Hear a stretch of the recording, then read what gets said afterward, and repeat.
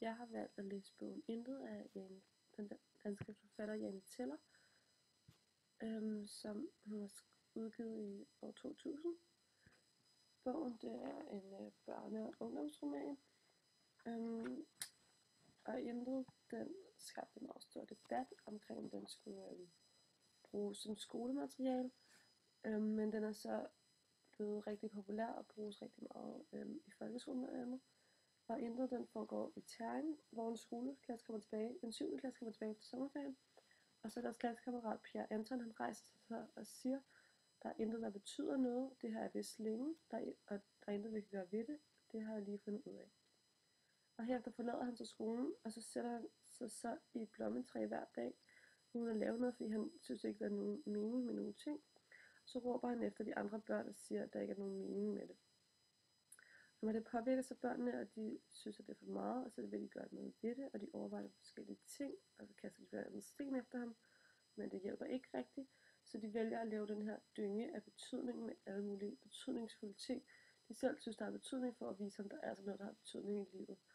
Og det bliver så vildere og vildere, og det ender med, at der kommer til at være en, der får taget sin møder med det her, og de graver en, lille, en død lillebror op, og øhm, der er en, der får skåret sit finger af, og, øhm, så det bliver rigtig vildt, og det ender så med, at pressen opdager den her, og så bliver de rigtig populære, øhm, og så skal de rigtig være med i tv-show, og så og de har overbevist alle om, at det er betydning, undtagen ham her Pierre. Han tror altså stadig på, at det er noget betydning, fordi at han siger, om nogle få dage, så er der ikke nogen, der synes, at det er noget betydning mere. Og han har så ret, og der er ikke nogen, der interesserer sig for det mere, og de vælger så at sælge den til et museum, den her dynge, så siger han, hvis jeg alligevel sælger den her dynge, så har den ikke noget betydning. Og så øhm, ender det med, at de så øhm, banker ham her, og så ender det så med, at han dør i en brand hen ved det der savværk, hvor dyngen var. Og alle børnene samler så øhm, noget af det her aske op, og det gemmer de så. Man hører sådan til sidst, hvordan at den her fortæller tænker tilbage på det, og så har de så gemt det her aske, og hun tænker stadig sådan på episoden. Øhm, og man kan sådan analysere den efter berettermodellen. Den starter sådan ved Point of No Return, hvor at ham der Pierre Anton siger, at han vil gå ud af skolen, fordi der ikke noget har nogen betydning. Og det sætter nogle tanker i gang ved alle sammen, og så kan de ikke rigtig gå tilbage til deres normale liv, efter at have sådan ligesom sagt, at der ikke er nogen mening med livet. Så kommer der en konfliktoptrapning, hvor det er, at han øh, står og råber til dem, han sidder i blommetræet, og så øh, råber han til dem, der ikke har noget betydning, og de så vælger at lave den her dynge af betydning, og det bliver bare vildere og vildere, og så til sidst, så siger han til dem, det har ikke nogen betydning, nu er alligevel den, og så kommer klimaks, hvor at de vælger at banke ham, fordi de simpelthen bliver så sure, og det bevis for ham, at der er sådan noget, der har noget betydning. Og så er der en udtoning til sidst, hvor det er, at de er til hans begravelse, og så hvor den her øh, fortæller sig tænker tilbage på episoden, øhm, og siger, at de mødes ikke som klasse mere. Øhm, og hvor at der er sådan lidt tvetydighed omkring, sådan, okay, havde det så egentlig betydning eller ej? Så er det sådan, at ja, så det er sådan lidt svært til sidst. Og så øhm, er det skrevet af en jeg-fortæller, og det er en, der hedder Agnes, som øhm, går i den her klasse, og øhm, så med kompositionen, der leges lidt med den ydre komposition, hvor der er sådan nogle sætninger i bunden af sådan en tom side, hvor man sådan lige skal stå op og tænke. Sådan nogle unaturlige linjeskift for at skabe sådan et spil. Øhm, for eksempel så skal de skære den her finger af, der er ikke nogen, rigtig nogen, der gider at gøre det, og så siger hende, der hedder Sofie der, så har fået taget sin møde om, hun siger så, det gør jeg, sagde Sofie på. Og så skifter det over til en helt ny side, hvor der på en helt side står, vi stirrede på hende tavse alle som en.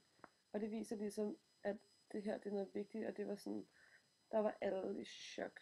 Og sådan nogle er der mange steder igennem bogen, hvor der sker nogle betydningsfulde ting. Også måske for at vise, at der er noget, der har betydning.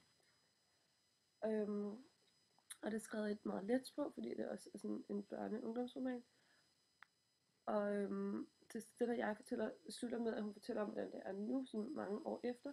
Så er det sådan, at hun tænker tilbage på det igennem hele historien, tænker man tilbage på den her episode. Men man hører ikke sådan kommentarer øh, i løbet af historien omkring, øh, hvad hun tænker nu